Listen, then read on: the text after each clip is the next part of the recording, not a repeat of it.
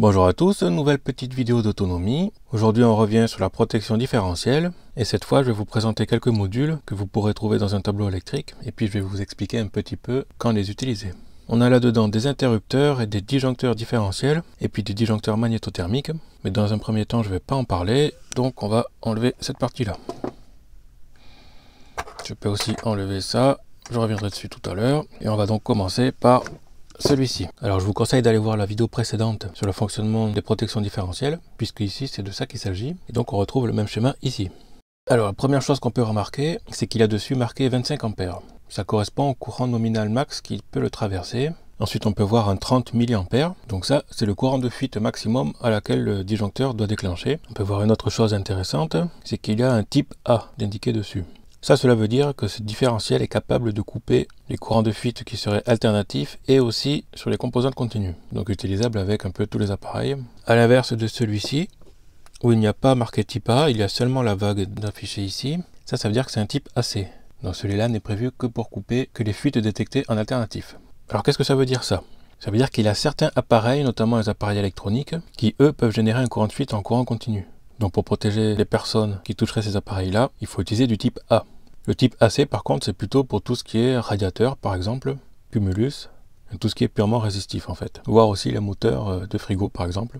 Par contre sur ce dernier différentiel que je vous ai montré, on peut voir qu'il a un symbole en plus. On peut aussi voir que le courant maximum est bien plus bas que l'autre. Alors qu'est-ce que ça fait ça? C'est qu'en fait les deux ne sont pas équivalents. Celui de gauche c'est un interrupteur différentiel. Celui de droite par contre c'est un disjoncteur différentiel. Ils vont tous les deux couper en cas de courant de fuite. Par contre, celui de droite est un peu plus performant, dans le sens où il va aussi assurer la protection des matériels. C'est-à-dire qu'il va couper en cas de surintensité ou de court-circuit, ce que ne fait pas celui de gauche. Pour que celui de gauche puisse faire la même fonction, il faut lui ajouter un disjoncteur divisionnaire ou magnétothermique. Ici, on aura donc l'équivalent de celui-là. Alors pourquoi ces différences En fait, à l'entrée des tableaux électriques, vous aurez des interrupteurs différentiels avec un interrupteur différentiel. Derrière, on met plein de petits disjoncteurs comme ça, divisionnaires, qui vont protéger tous les appareils. On a donc en amont le différentiel qui lui va protéger les personnes en cas de courant de fuite qui dépasserait le seuil de 30 mA. Les disjoncteurs divisionnaires qui sont derrière, ce sont des magnétothermiques, eux vont protéger le matériel en cas de surintensité ou de court-circuit. Ils sont donc branchés en série avec ces petits ponts là, le neutre étant à gauche. On va le mettre comme ça, puisque le neutre est toujours le bleu. Donc là, la face sera noire. Et ensuite, les sorties seront ici. Celui-là, par contre, il a toujours son entrée là, et la sortie est directement là, comme si en fait on était branché directement ici. Ça, c'est utilisé plutôt pour protéger un matériel bien spécifique qui ne doit pas s'éteindre si jamais le reste saute. Si ici on a un appareil qui déclenche le différentiel parce qu'il y a un courant de fuite, tous les autres appareils qui sont branchés derrière ne seront plus alimentés.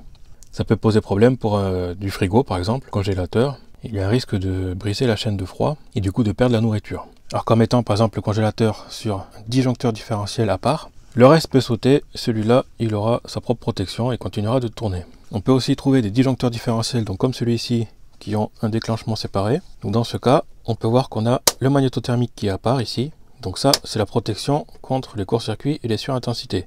Il va sauter comme ça si jamais il y a une surcharge. Et il y a aussi la partie différentielle qui est par-dessus, qui va sauter si jamais il y a un courant de fuite. Donc l'avantage en fait de ce genre d'appareil, c'est qu'on peut voir quelle est la panne. En un coup d'œil, on peut voir si celui-là est baissé, par exemple, c'est qu'il y a sur intensité ou court-circuit. Et si par contre ce sont les deux qui sont baissés, là c'est qu'il y a eu un problème de différentiel. Ça permet de faire un pré-diagnostic pour savoir à peu près d'où viendrait le problème. Ici, on a donc un calibre 10 A qui correspond à la partie magnétothermique, donc protection contre les courts-circuits et les surintensités. Et on a 30 mA qui est là pour la protection contre les courants de fuite. Alors avec tout ça, il y a maintenant celui-ci. Celui-ci est un peu plus particulier parce qu'il s'agit du disjoncteur d'abonné. Il a sa partie ici qui permet de couper un seul pôle. Ici le bouton test pour la partie différentielle pareil pour faire un essai euh, normalement mensuel. Alors ici on peut voir le calibre de réglage. On a 15 ampères de réglé et ça, ça se règle par ici. Une trappe qui est normalement plombée aussi. Il faut dévisser là. Ensuite, une fois que c'est dévissé, vous pouvez ici changer le calibre. Ici 15 ampères, ça équivaut à un abonnement de 3 kW. Ensuite, vous pouvez régler à 30, ce qui est 6 kW. Et 45, qui est 9 kW. C'est comme ça que les abonnements sont réglés, en sachant que cela fait un peu plus que ce qui est indiqué. Si on prend par exemple 45 ampères en 240 volts, ça donne 10 kilobits. C'est pour ça qu'avec les anciens compteurs, vous pouvez tirer plus que ce qui est prévu. Contrairement au Linky qui lui, normalement, il coupe bien plus tôt. Ce disjoncteur est donc à la fois un différentiel et un magnétothermique qui limite votre abonnement électrique. La prochaine fois, je parlerai des disjoncteurs divisionnaires, donc magnétothermiques, pour tenter de vous montrer un petit peu comment ça fonctionne. Je ne ferai pas la manipulation sur le différentiel, puisque ça a déjà été fait sur ma vidéo sur la gestion de la Terre en autonomie électrique, que je vous conseille aussi d'aller voir si ça vous intéresse. Merci de votre soutien et à bientôt voilà voilà pour cette petite euh, vidéo. A plus